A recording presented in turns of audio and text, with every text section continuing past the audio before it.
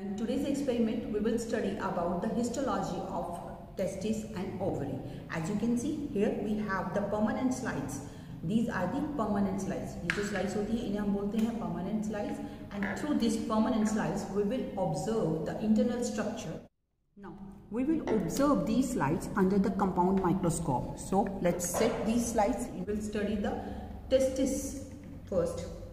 So first of all adjust this slide under the microscope. For this you have to focus the light properly.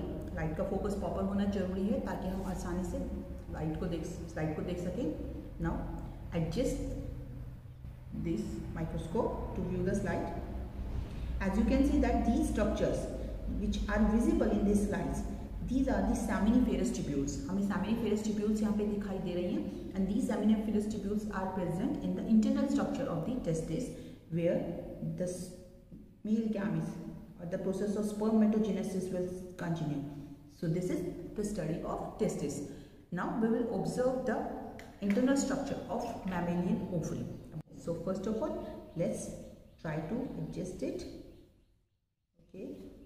Now here you can see that these follicular structures which are visible here, these are the follicles which are present into the mammalian ovary and this process of formation of these follicles is known as oogenesis. So this ovary you can easily see that it has two parts. Inner outer part is the cortex and inner part is the medulla or matrix region in which the follicles are formed. So you can easily see this that oogenesis process is